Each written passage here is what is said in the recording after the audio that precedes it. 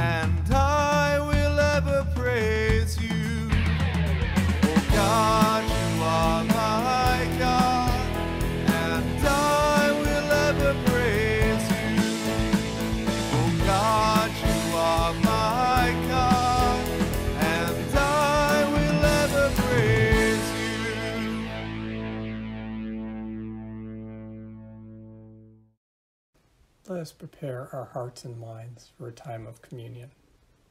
The above slide shows a boat docked at the San Leandro Marina. I really love boats.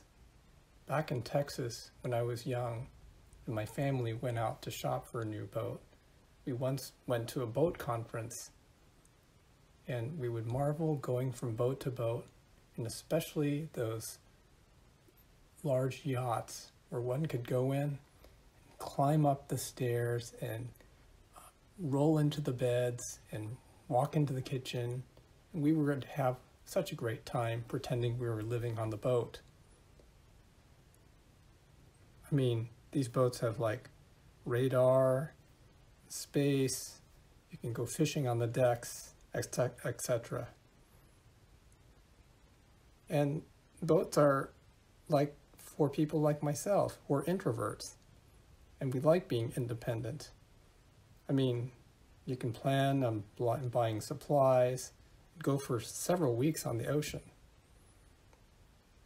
However, isn't it just like the pandemic? I mean, at the start of the shelter in place, we were all in our boats, kind of isolated, almost like pitching tents. You know, we kind of go out and shop and get our toilet paper and store up food. And it was kind of thrilling at first, like camping. You know, maybe we could survive for a few weeks and then everything would be normal again. But the weeks, they dragged on to months, and months onto many months. People became and felt isolated, down, and depressed. As a primary care doctor, months into the pandemic, elderly patients would come in uh, for an appointment and tell me they were just ordering food to be delivered. They would have family come by to deliver their food. Um, they had not left their homes for months, and this was the first trip outside their home to come and see me in the doctor's office. I mean, how honored and humble did I feel? I told them that, but in the next breath, I also advised that they also live healthier, go out and exercise in safe places, and meet with others who are equally as bubbled and isolated as they were, to have friends and, and even family who stay safe together. I ask them to come back into the dock from their isolated boats to be with others, to refuel, to get supplies after being isolated so long. I mean, maybe during the pandemic, you were in your own boat, isolated for a while, and drifted away physically and spiritu- spiritually without the regularity of like going to work, going to Bible study, even the church on Sundays, or seeing others. Maybe we're a student at school or volunteering regularly, and that all disappeared. Make the effort to come back to the shore and dock, to be with others, be with Christians, to fellowship. At church on Sundays, if we're still holding pergola and parking lot services in a safe way. Enroll and come onto the Zoom meetings on Sundays because God is calling you back against Satan's will. We were, we were never meant to be so alone. In Isaiah 53 5, it says, But he was pierced for our transgressions, he was crushed for our iniquities. The punishment that brought us peace was on him. By his wounds we are healed. Talking about Jesus Christ. And as you can see in the next slide, although communion is a private matter with us and God, it is for us, plural, as Christians he was pierced for our transgressions, our iniquities. Punishment that brought us peace was on him, and by his wounds we are healed. We were never meant to be alone. An intimate connection with God, yes, but never to be alone, physically, and to be together. So let us bow and pray right now. Thank you, God. We remember your bread, your body as its representation broken for us. And we remember the wine and the blood, sin's pardon. Turn your lighthouse on so we may come back to shore to see the light, a new, stronger, and wider path back to you. Help us be unified in this time of communion with other believers. Amen. When I look into your holiness, when I gaze into your loveliness, when all things that surround become shadows in the light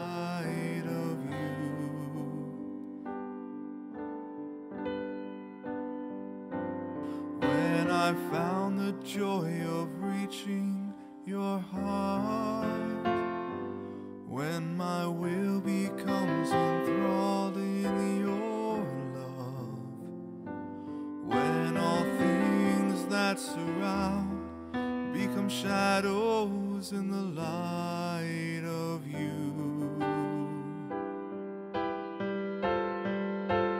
I worship you.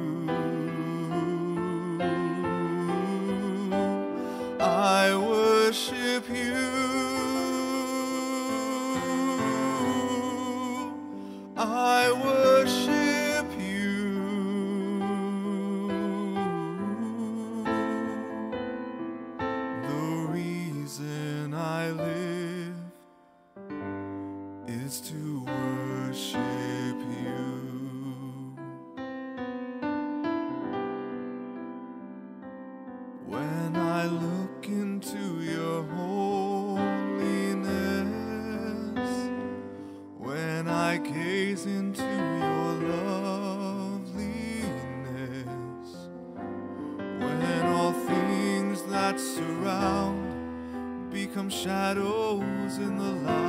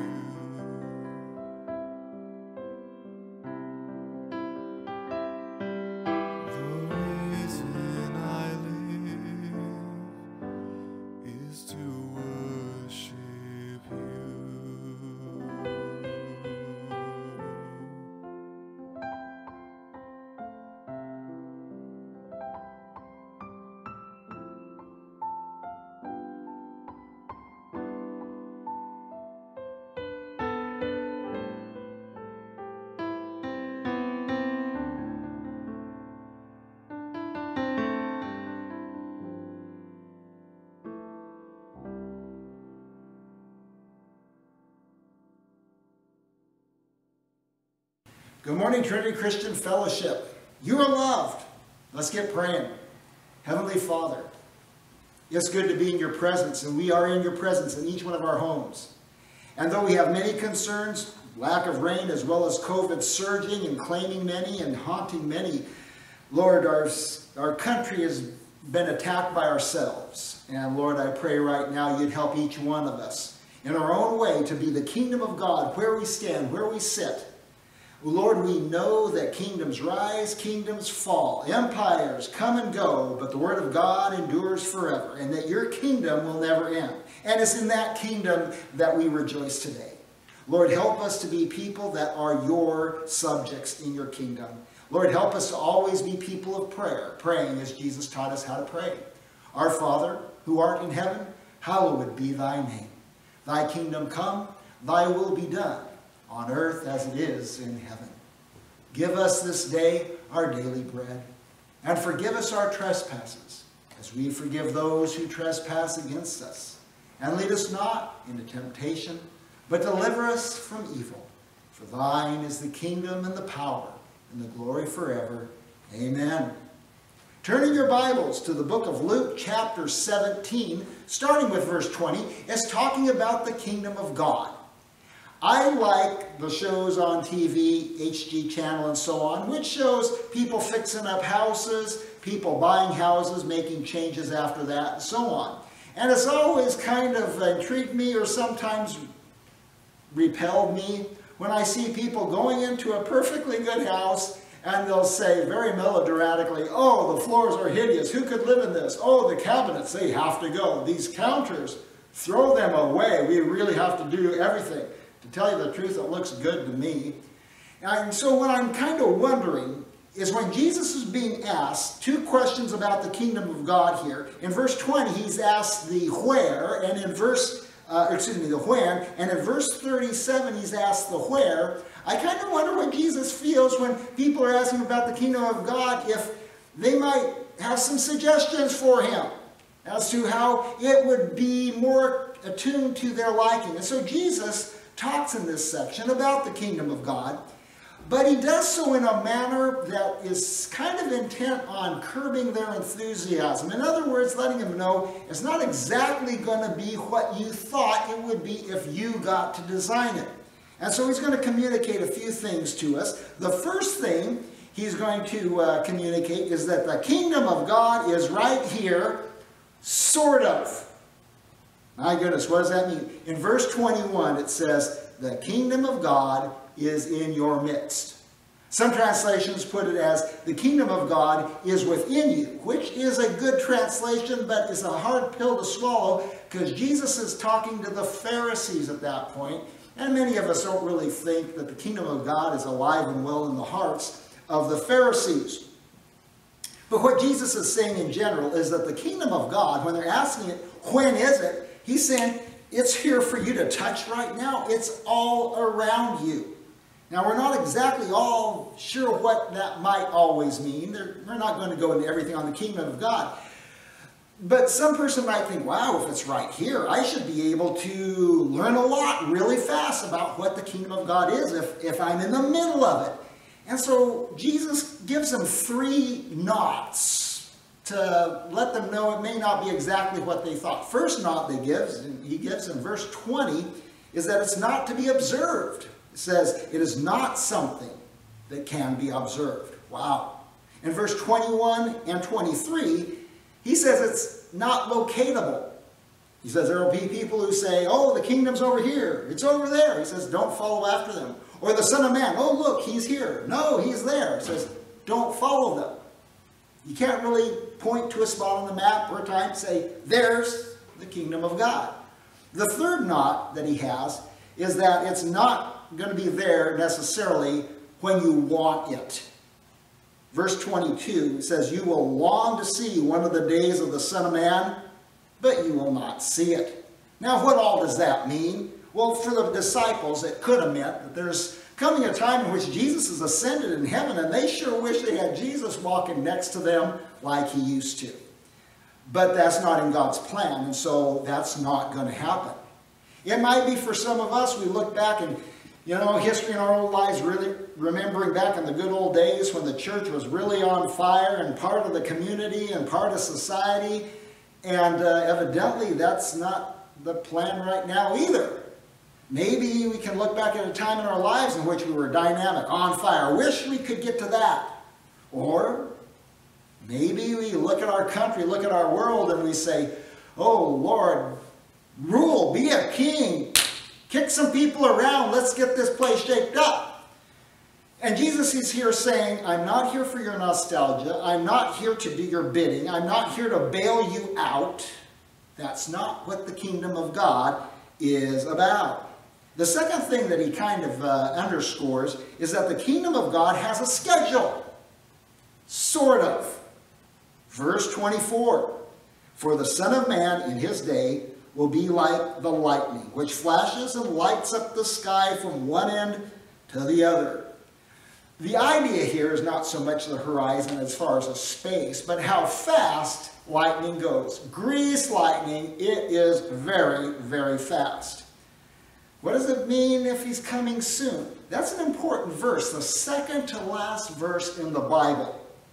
Revelation chapter 22, verse 20 says this Jesus says, Surely I am coming soon.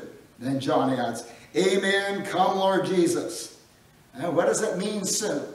Well, it evidently it doesn't mean within 2,000 years because that hasn't happened.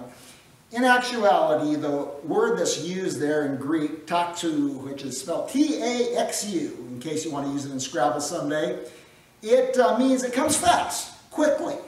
It doesn't mean necessarily soon as in Soon normally assumes a point of reference.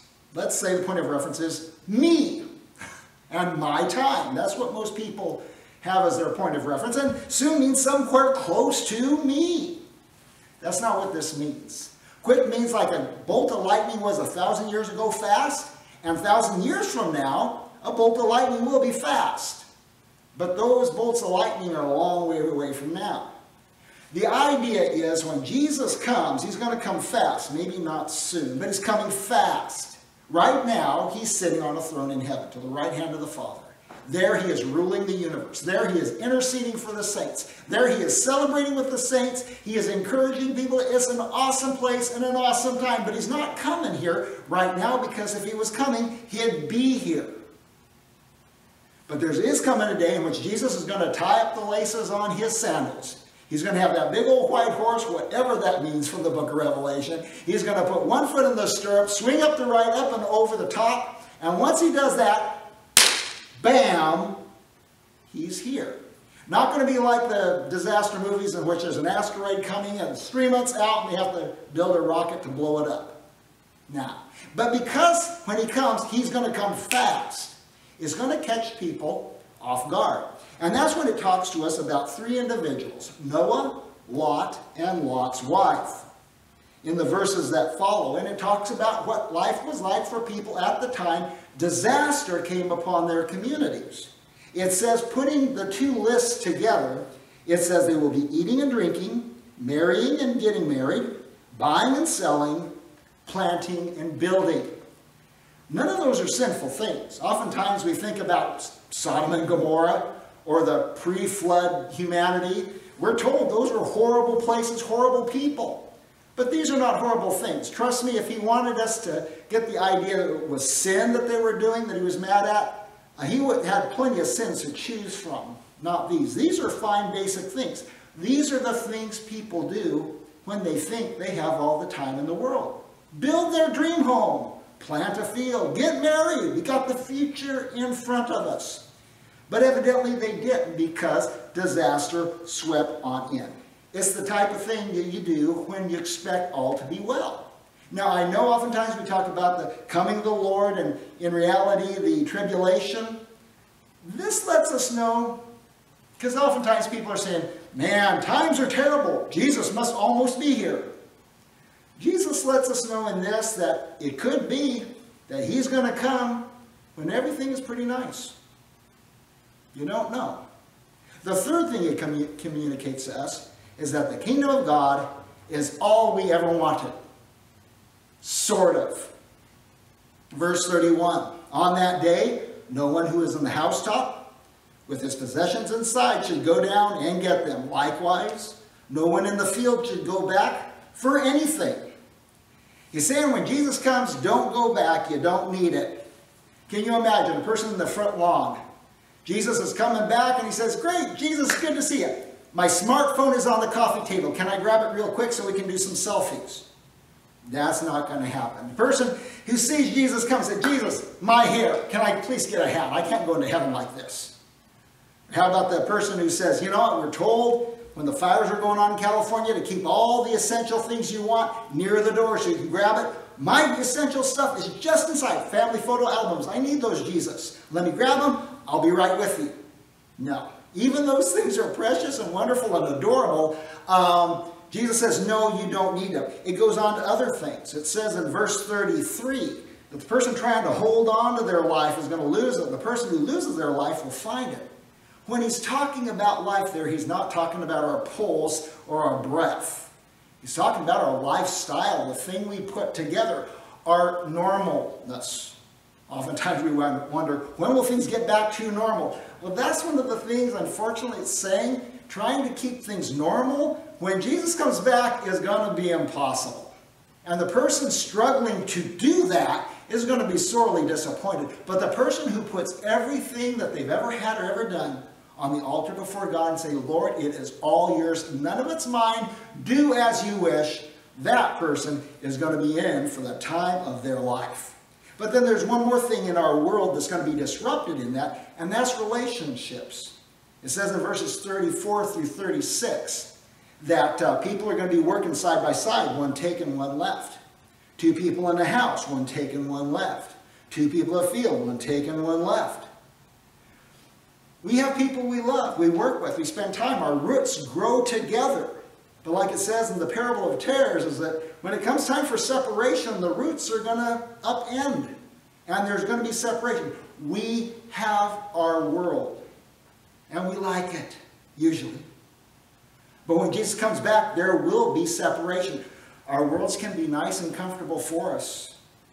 But when he comes, the kingdom of God is not about recreating what we've already had. It's a brand new thing. The last thing he wants to throw out to us is that the kingdom of God will find you. And no sort of in that title. It's just the kingdom of God will find you. They ask the question in verse 37, where the kingdom is. And so he, the, the verse 37 goes this way. Where, Lord, they asked. He replied, where there is a dead body, there the vultures will gather. Is that a bizarre verse or what? I mean, I have seen lots of Christian uh, greeting cards, and I've never seen that verse used. I've seen lots of nice little plaques and posters on people's walls. That one's never used, okay? What is the idea on this verse? Uh, you know, where is the kingdom of God? It's basically saying the kingdom of God will find you. That's what it's saying. Just as a group of buzzards doesn't need a map to go find the carcass. They'll find it fine on their own. So, the Christian who has Jesus in their heart,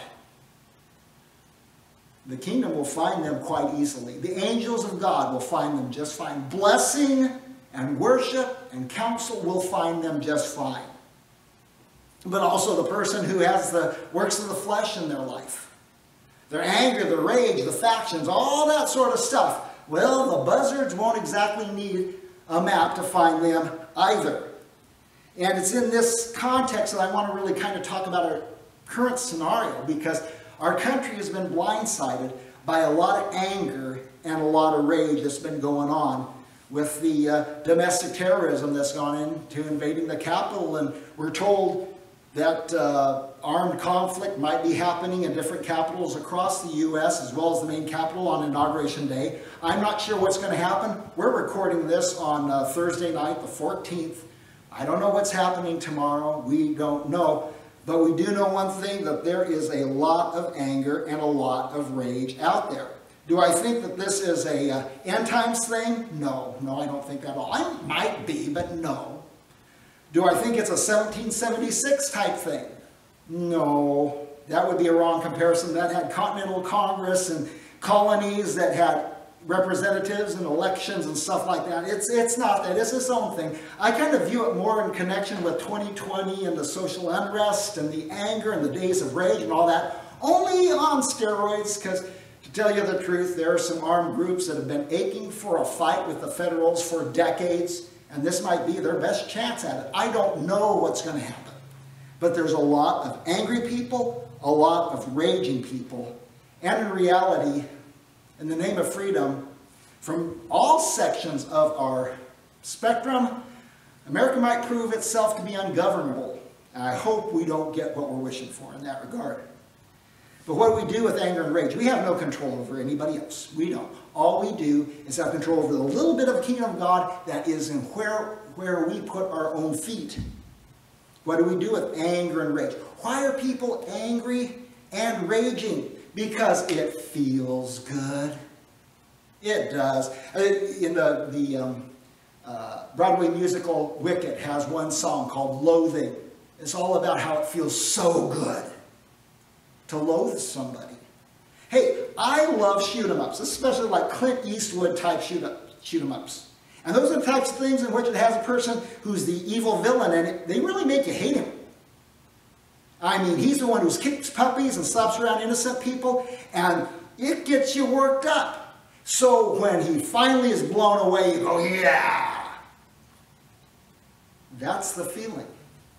It feels good to get worked up. It feels good to hate and have anger. It hits the adrenal glands, makes us feel alive. Here's the thing that frustrates me so much. I know I get worked up. I know I get angry about a fictitious story. There's nothing real about it. And on top of that, there I am.